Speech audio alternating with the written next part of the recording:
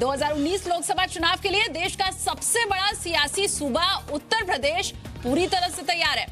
इसके तहत आज समाजवादी पार्टी और बहुजन समाजवादी पार्टी महागठबंधन का औपचारिक ऐलान करेंगे। सूत्रों का भी ये मानना है कि दोनों पार्टियाँ यूपी के 80 लोकसभा सीटों में से 37 सैंतीस के फॉर्मूले पर चुनाव लड़ सकती हैं। वहीं बाकी बची छह सीटों पर चौधरी अजीत सिंह की पार्टी, आरएलडी, कांग्रेस और अन्य को चुनाव लड़ने का मौका दिया जा सकता है। लेकिन माया और अखिलेश के करीब आने से कांग्रेस पार्टी यूपी में कटी पतंग की तरह हो चुकी है।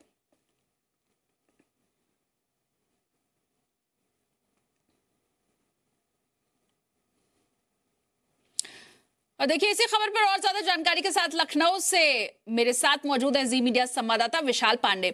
विशाल, सपा बसपा के गठबंधन का ऐलान आज होने वाला है। क्या खबर है? और साथ ही कांग्रेस के बिना यह गठबंधन हो रहा है क्या? आज समाजवादी पार्टी और बीएसपी के बीच गठबंधन का औपचारिक ऐलान होगा।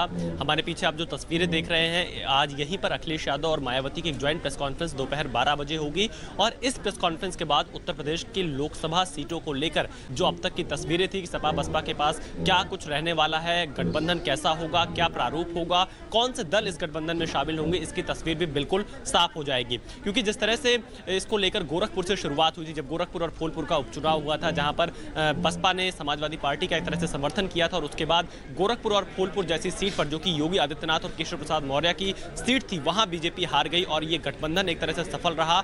उसी के बाद से लगातार इस बात पर ज़ोर पकड़ती हुई नज़र आ रही थी कि आखिरकार यह गठबंधन कब होगा और आज अखिलेश यादव और मायावती औपचारिक तौर पर समाजवादी पार्टी और बीएसपी के गठबंधन का ऐलान करेंगे और इसकी नींव पिछले दिनों दिल्ली में हुई बैठक में रखी गई थी, जिसमें सीटों के बंटवारे को फाइनल रूप दिया गया था। हालाँकि आज होने वाले इस ऐलान में अभी आरएलडी इस प्रेस कॉन्फ्रेंस में फ़िलहाल शामिल नहीं है, लेकिन आरएलडी निषाद पार्टी और पीस पार्टी जैसे छोटे दलों को भी समाजवादी पार्टी और बीएसपी के इस गठबंधन में जगह मिलेगी।